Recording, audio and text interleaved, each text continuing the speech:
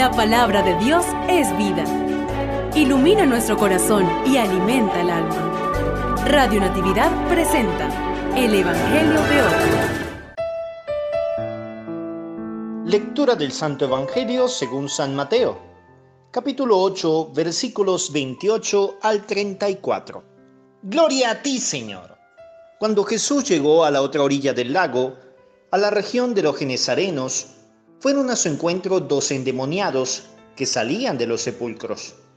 Eran tan feroces que nadie podía pasar por ese camino. Y comenzaron a gritar, ¿qué quieres de nosotros, Hijo de Dios? ¿Has venido aquí para atormentarnos antes de tiempo? A cierta distancia había una gran piara de cerdos paseando. Los demonios suplicaron a Jesús, si vas a expulsarnos, envíanos a esa piara. Él les dijo, vayan. Ellos salieron y entraron en los cerdos. Estas se precipitaron al mar desde lo alto del acantilado y se ahogaron. Los cuidadores huyeron y fueron a la ciudad para llevar la noticia de todo lo que había sucedido con los endemoniados. Toda la ciudad salió al encuentro de Jesús y al verlo le rogaron que se fuera de su territorio. Palabra del Señor. Gloria a ti, Señor Jesús.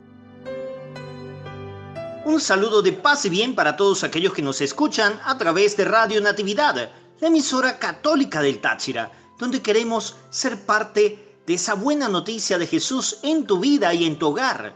Hoy la palabra nos relata cómo unos endemoniados son liberados por Jesús. Es el gran pedido que hace mucha gente que sufre, pidiendo justicia, sin embargo, lamentablemente, son mucho más el número de personas que prefieren los cerdos, los cochinos, que la salud, la libertad y la paz. Vemos cómo la práctica de Jesús frente al mal es rechazada por los miembros de esta comunidad, porque se acostumbraron a vivir con el mal y prefieren el mal a sacrificar algo de sus vidas. Y es que quien no está dispuesto a sacrificar algo, no está dispuesto a ganar. Está dispuesto es a conformarse con lo que tiene. Qué triste es que en nuestra sociedad hoy muchos viven así. ¿Y tú cómo te sientes en estos momentos? ¿Cómodo, conformado o estás dispuesto a sacrificar algo por ser libre, pero especialmente por estar en las manos de Jesús?